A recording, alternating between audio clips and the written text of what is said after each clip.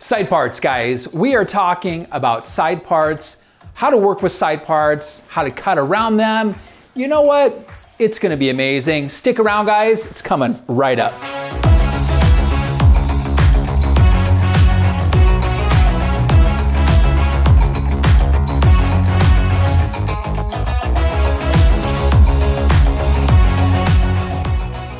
So, when it comes to side parts, why is it that everybody kind of freaks out? They're like, hairdressers are like, I don't really know how to cut around that. Consumers are like, I have a side part, make sure you cut around that. There are so many things that just make people kind of cringe up, you know, almost like that little, my butt tightens, ugh, ugh, I don't know.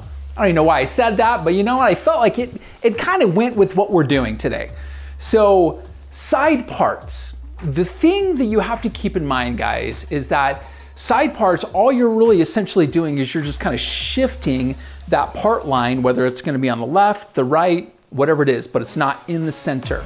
So when we're cutting around that, especially when we're cutting fringe, if we're doing some sort of curtain, disclaimer here, curtain is designed to be worn in the center. And if you have naturally wavy or curly hair, you have to blow it out a little bit smoother to get that curtain effect. If you don't, and you just wear it like that, you're gonna get more of kind of a, a, a rocker shag look to that. So that's just disclaimer. But in today's video, we're gonna be blowing everything out a little bit smoother so you can see how we have a side part and this part really is about over about the, you know, a little bit on the inside of the center portion of her eye, you know, right here. Ah, touch me in the eye. Anyways, I don't even know why I just did that. That's weird. So let's get started. If you have a deeper part, if you're more emo, hey, you know, rock it. Like you're gonna have to do a lot more adjustments. Let's go with what we're gonna be doing today. If you have a deeper part, we can make that another video. All right, so let's start the cutting, guys.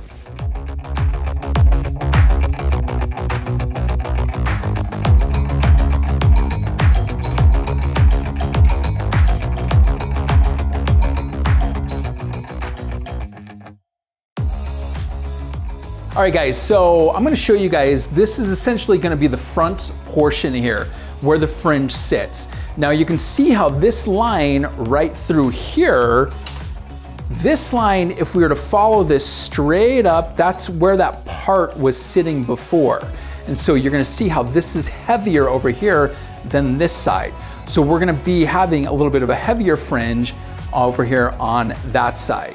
Now, so we are gonna be cutting the line that's gonna be working from that side part. So just keep that in mind as I start to cut. Let's start cutting, guys.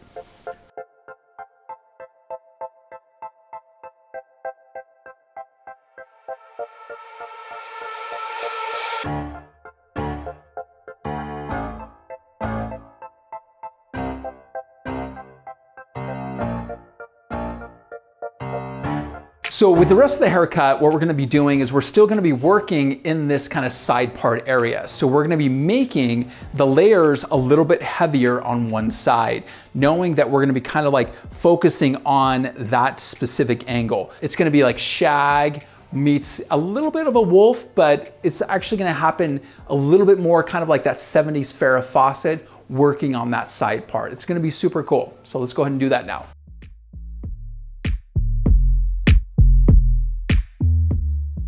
Okay guys, so after you guys finish doing that side part fringe right through there, and again, you can keep things longer depending on, just take that same technique and just cut that line down further if you want it further. But today I wanna actually make it a little bit shorter. The rest of the haircut, we're gonna be doing a wolf haircut with that side part. So it's actually gonna be super kind of fun. So if you guys have not seen my other wolf cut video, go ahead and check that out. Boop, right over there, okay? But Let's get the cutting. Let's do it now.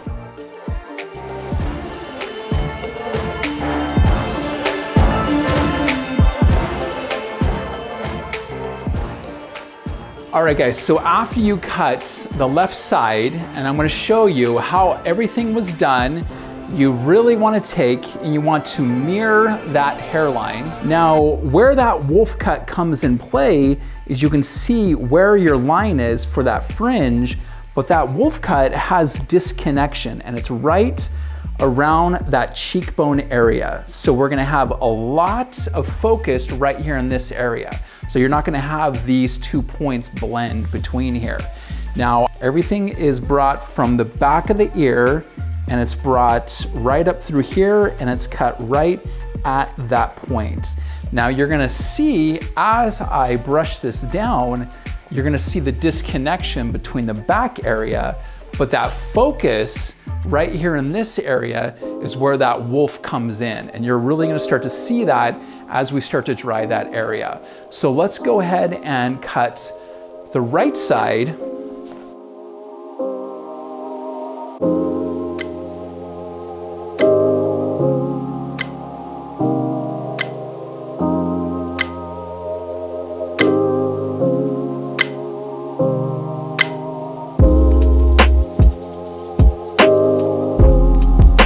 right, guys, so after you're done cutting the right side, um, you'll notice that when you actually start to look at this, you can actually start to see kind of like a lot of like little activity coming out in this general area right through here. And of course, we still have that length. I really, really love the length. I wanna keep that, but you're gonna really kind of start to see a lot of that focus in this specific area right through there.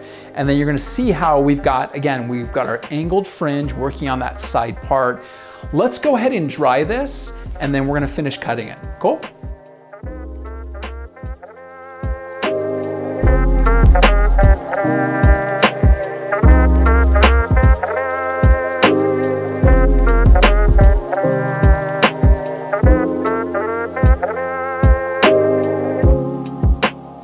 Right, guys, so when it comes down to styling, two things are super important. Number one, you're gonna need some sort of dual bristle brush. Spoiler alert, actually, I'm designing a brush right now. I'm so excited about it.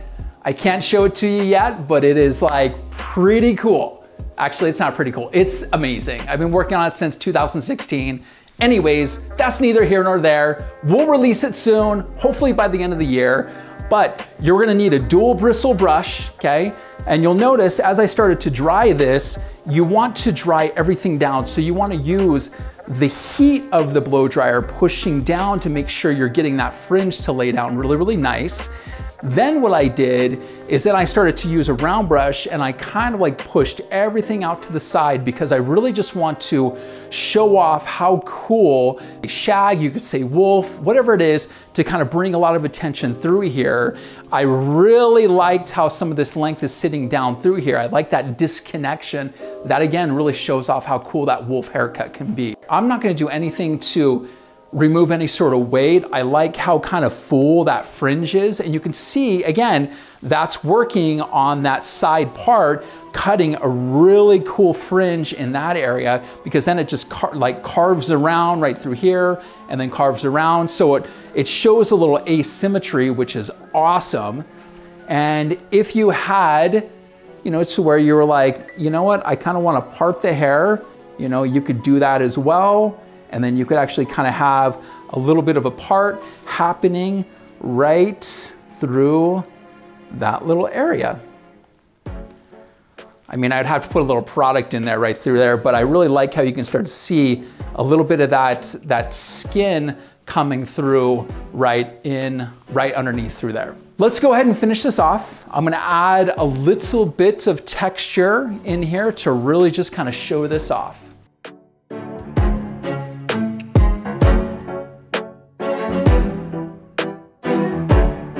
Guys, my name is Jake Thompson Hair. I really hope you guys enjoyed this haircut today. I want to apologize. This last week, I didn't post. I'm sorry about that.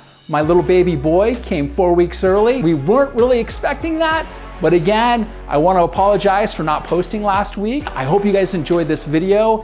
If you guys are not subscribed, go ahead and subscribe. I also want to let you guys know I made a free little gift about face shapes. I always link that in my videos below. Check that out. It's a free download. Whether you're a professional or a non-professional, go ahead and check that out. That's for free. That's a gift from me to you. Like it. I will see you guys in the next video.